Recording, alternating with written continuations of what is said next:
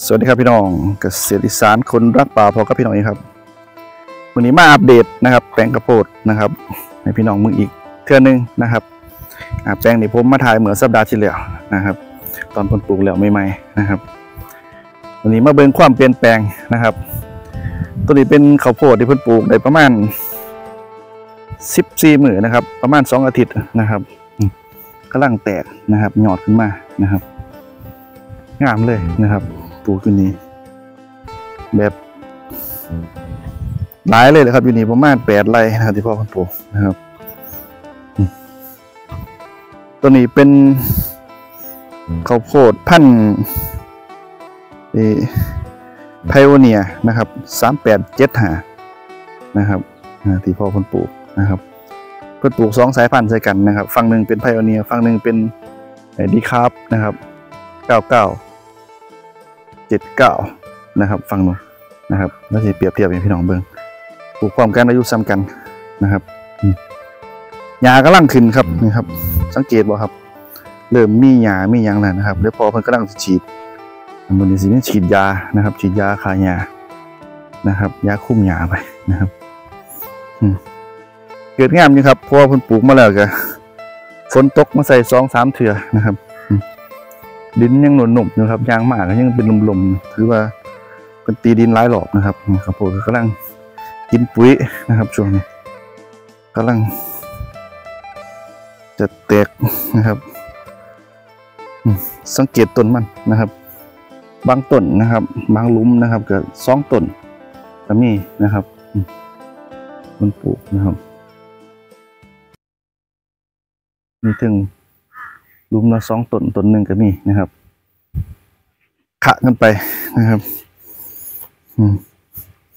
แต่ว่าปัญหาต้องรีบแก้คือต้นนี้นะครับ วัชพืชกำลังจะขึ้นนะครับ เนื้อที่มันหลายนะครับต้องเฝ้าจัดการนะครับก่อนมันสีใหญ่กว่านี้มันสีหยาดปุ๋ยข้าวโพดเข้าไปกินนะครับนี่มาฟังเลยครับ เป็นดีครับเก้าเก้าจ็ดเก้านะครับ ตัวนี้ใบสิบ่บ่ บ่ยาวซ้ำฟังผ่านไปได้ครับ เบิ่งสังเกตใบมัน มันยังสั่นอยู่นะครับ ตัวทันใบสิสิอ่อนลงนะ ฟังผลนะครับ อายุซ้ำกันนะครับปลูกมือเดียวกันนะดินคือกันนะครับ พอเพิ่นทดลองนะครับสองสายพันธุ์ว่าแปลงนี้มันจะเหมาะกับพันธุ์ใดนะครับ มากกว่ากันนะครับเพิ่นก็เลยปลูกใส่กันนะครับบ่ฮู้ว่าผลผลิตเป็นจังไดนะครับเดี๋ยวจะมาอัปเดตให้พี่น้องเบิ่งเรื่อยๆนะครับแปลงนี้แปดไร่นะครับ พอเป็นกำลังเตรียมนะครับ ที่จะฉีดยานะครับ เพื่อจะจัดการเนี่ยครับพวกวัชพืชนะครับ มันเริ่มขึ้นหนาขึ้นหนาขึ้นนะครับตัวนี้ยังพันมีระบบน้ำนะครับ พอเพิ่นพันวางระบบน้ำใส่นะครับช่วงนี้ก็ยังอาศัยน้ำฝนอยู่นะครับ ปลายฝนต้นหนาวนะครับอปลายเดือนตุลาจะเขาพฤศจิกานะครับแต่ยู่นี่เพิ่นจะใส่ระบบน้ำแบบเป็นสปริงเกอร์นะครับก็จะเดินทอเมนทั้งขางนะครับ ท่อเมนเลยคอยต่อระบบต่อลายมันมานะครับ แต่ว่าแม่จะปลูก ช่วงนี้เพิ่นก็ยังมีหล่องน้ำนะครับ ป้องกันไว้นะครับเพื่อฝนตกมาแห้งนะครับเพอจะได้นี่ครับให้มันระบายมาตรงหล่องมัน หล่องมัน ระยะห่างของหล่องเนี่ยประมาณเมตรก็กลัวนะครับ ที่เพิ่นที่เพิ่นพ่อเพิ่นเว้นไว้นะครับส่วนในข้าวโพดในลักษณะที่คนปลูกนะครับ เที่ยวมันนะครับระยะห่างกับสิมันหาสิบเนหกสิบเนนะครับ คือเอาคนแบบปลูกอยู่เอาบริษัทเครื่องปลูกนะครับ อยู่กันไปจะประมาณนี้พี่ว่าเกิดค่อนข้างดีนะครับ อัตราการงอกค่อนข้างดีนะครับมันเกิดเสมอกันพร้อมนะครับจริงที่เห็นก็คือตอนนี้เริ่มใบเพิ่นครับนี่ครับ เริ่ม มีห้อยดางนะครับ มีห้อยดางอ่าแมลงก็เริ่มมาเนี่ยนะครับในจอนะครับนี่ครับ สังเกตใบมันครับเริ่มมีร่องรอยของแมลงนะครับนี่ต้นนี้ที่กันครับ เห็นบ่ครับ นี่ครับ เริ่มจะเป็นโลกมานะครับ เพราะตรงยางสำรวจแปลงเจ้าของเรื่อยๆนะครับ มาเบิ่งว่าข้าวโพดเฮามันมียังให้ เปลี่ยนแปลงบ่เฮาต้องฝ่าวแก้ไขนะครับอย่าปล่อยไว้โดนนะครับถ้ามันเป็นโรคเป็นยังมากเฮาต้องฝ่าวหายามานะครับ หรือถาว่าจะพืชได้ร้ายเขาต้องเฝ้าฉีดยาคุมนะครับถือว่าเป็นแปลงใหญ่นะครับอยู่นี่พ่อพ่นบ่ได้ใส่ขี้ไก่ครับแปลงนี้แต่ว่าพ่นใส่กากเห็นค่เข่านะครับค่เข่าอยู่ลงสีนะครับ เอามาใส่อยู่นี่ประมาณหาหกรถหกหล่อประมาณแปดไร่นะครับแต่ว่าหลายคนว่าถ้าใส่ค่เขาแล้วมันจะ ฮ็ดให้หญ้าหลายนะครับเพราะว่าหญ้ามันมาน้ำดอกมันมาน้ำเขานะครับค่ายเขา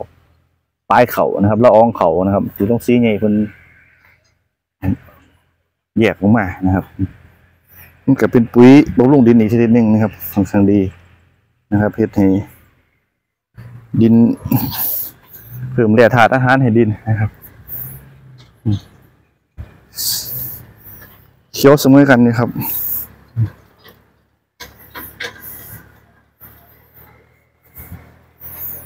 ต้นตายบ่ค่อยบ่ค่อยเห็นหลายครับสาวสังเกตมันบ่ค่อยมี แต่ว่าที่เจอคือนี่แหละครับ ตัวใบด่างๆนะครับนี่ครับ เริ่มนะครับขาวๆนะครับต้องเฝ้านะครับ ป้องกันนะครับ หายานะครับ มาป้องกันไว้นะครับงามนะครับเป็นไงสุดลูกหูลูกตา พอมันก็ต้องฉีดนะครับอืมหญ้านะครับ มันกำลังขึ้นร้ายนะครับ มันเป็นหญ้ามีลักษณะแบบนี่ครับ เป็นใบนะครับอืมเดี๋ยวนี้ก็นี่นะครับต้องป้องกันนะครับผมนี่ก็เป็นอีกแปลงหนึ่งครับสิมาอัปเดตถึงความแตกต่างนะครับ ความเปลี่ยนแปลงของสองสายพันธุ์ที่ผมปลูกคู่กันให้พี่น้องมือเรื่อยๆนะครับ ผม โอเคครับวันนี้ฝากพี่น้องสวัสดีครับ คลิปหน้าพอกันไหมสวัสดีครับ